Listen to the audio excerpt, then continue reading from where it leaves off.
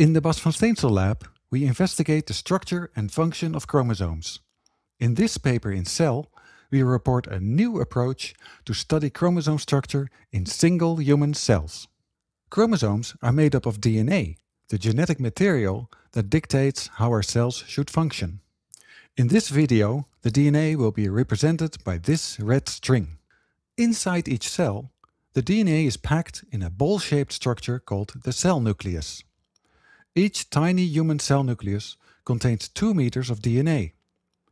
If you would enlarge the cell until it has the size of a kitchen ball, like this one, the nucleus would be roughly the size of a tennis ball. And within that tennis ball, there would be about 20 kilometers of string. So you can probably imagine that this needs to be really tightly packed to fit. And that is what we are interested in. How is the DNA packed within the nucleus? And does every cell do it in the same way, or is it done rather randomly?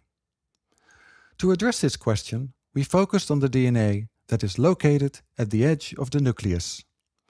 This edge is called the lamina. The lamina is somewhat similar to the rubber wall of this tennis ball. By knowing which parts of the DNA are touching the lamina, we can learn much about the overall folding of the DNA inside the nucleus. So how do we find out which parts of the DNA contact the lamina in a single cell? We designed a method that works roughly like this. At the inner surface of the lamina, we introduce a kind of molecular paint. For this, we use a genetically encoded paintbrush, an enzyme that we borrowed from bacteria. In reality, we don't have to open up the nucleus to do this, and we don't have to remove the DNA. That's just for the purpose of this video. So let's put our DNA back in and imagine it has been there the whole time. After the inside of the nucleus is fully painted, we dissolve the cell and remove the lamina. This leaves us with the DNA, which is now marked by paint on every part that previously touched the lamina. We then carefully unravel the DNA. We can now see which parts of the DNA were in contact with the lamina. By means of a series of molecular biology tricks and powerful DNA sequencing machines, we can precisely identify each of these painted regions and visualize them on a chromosomal map. Actually, we already reported this molecular painting technique several years ago, but previously the method was not very sensitive. It required about 100,000 cells for each experiment. That meant we could only get a rather blurry, average picture of the lamina contacts across all those cells. But we were interested in the way DNA is packed in single cells. Are the contact points of the DNA in the lamina the same in every cell, or does this vary a lot? We therefore modified the method to make it so sensitive that we can reconstruct a map of lamina contacts from a single cell. We have used this new, extremely sensitive method to study several hundreds of individual cells, one by one. And this is what we have learned so far.